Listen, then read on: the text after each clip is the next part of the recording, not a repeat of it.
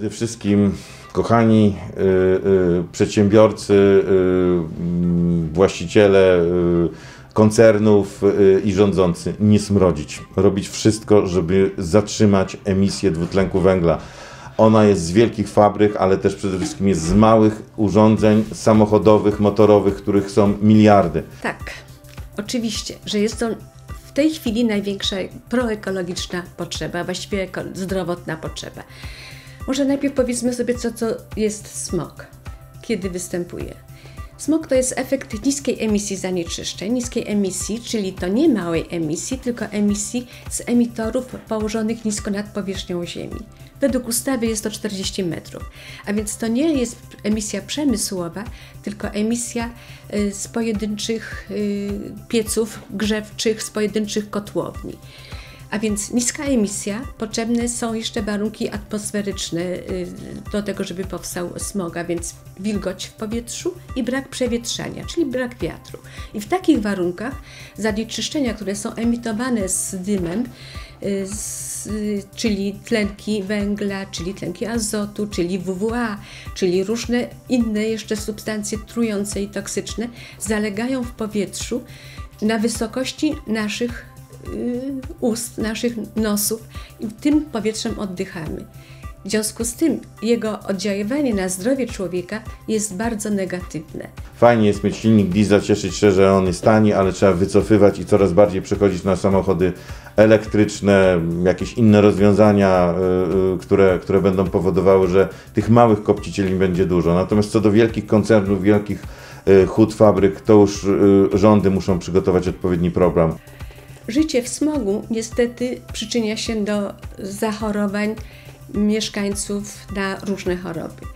Między innymi na choroby układu oddechowego, na przykład na POHP, czyli y, przewlekła obturacyjna choroba płuc, na astmę, na choroby układu krążeniowego. Bardzo źle wpływa smog na y, samopoczucie osób, które mają problemy z krążeniem i z, z sercem.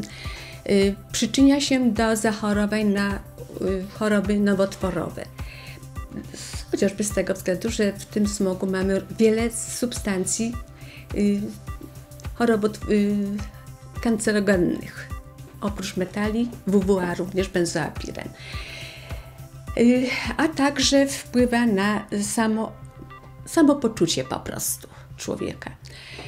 Wobec tego, jeżeli chcemy żyć z, długo, zdrowo i szczęśliwie, musimy się wziąć bardzo ostro za walkę ze smogiem.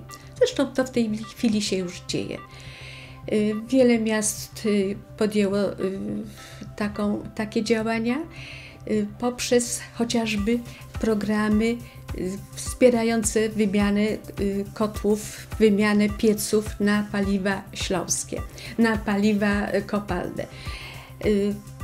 Na Dolnym Śląsku mamy uchwały antysmogowe, mamy też i programy ogólnopolskie, chociażby taki program Czyste Powietrze czy program Mój Prąd. Są to programy w pomo- pomocnicze, gdzie, y, gdzie można uzyskać, w ramach których można uzyskać dotacje na wymianę kopciuchów tak zwanych, czyli pieców starego typu i zamienić sobie system ogrzewania na bardziej proekologiczny. A więc na na przykład y, chociażby odnawialne źródła energii, czy, czy ogrzewanie gazowe. Ekologiczna może nie, ale dla nas ludzi jest to bardzo potrzebne, ponieważ my y, trujemy się tym dymem, y, tymi wyziewami, które gdzieś tam zalegają w powietrzu i dla nas ludzi jest to bardzo potrzebne, ponieważ no, tracimy zdrowie.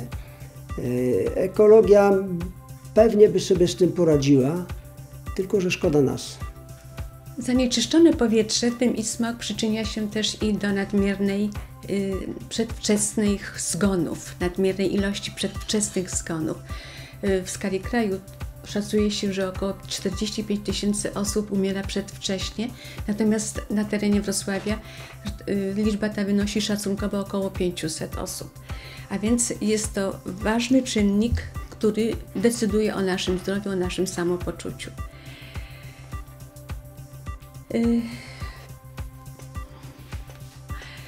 Programy, y, które y, podejmują poszczególne gminy w mające na celu eliminację niskiej emisji są bardzo pomocne, bardzo potrzebne i oby ich było jak najwięcej i jak najbardziej przydatne dla mieszkańców.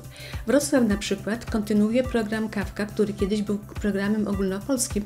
W tej chwili mamy Kawkę Plus, z którego można uzyskać dopłatę na wymianę pieca starego na węgiel i zamienić go na bardziej proekologiczne źródło ogrzewania. Y, Podobnie zresztą jest też i kawka termo, która, z, z którego to programu można uzyskać dopłatę do wymiany na przykład okien, jeżeli są nieszczelne, po to, żeby zużycie energii przez jedno gospodarstwo domowe było po prostu mniejsze, a jednocześnie mniejsze zanieczyszczenie z tego tytułu.